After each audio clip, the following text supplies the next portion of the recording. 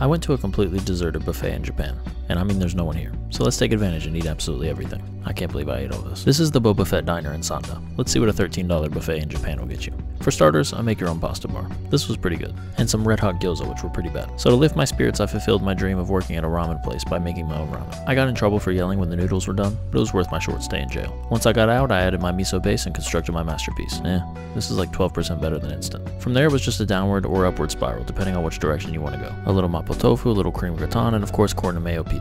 It's like no matter how hard I grasped for a central theme, it was always pulled away from me. There's no safe house here at this buffet. Your mental fortitude will be challenged, and it's solely up to you if you continue eating unrelated foods until it's time to leave. Once I saw the dessert bar, I knew it was over. I made a little sundae, then I grabbed an assortment of cakes and fruits. They even had a make your own kakigori kakigori maker. Mm-hmm. After dessert, I found curry and naan, and I had to take a bite, but the naan was so bad that I evolved into curry and pizza.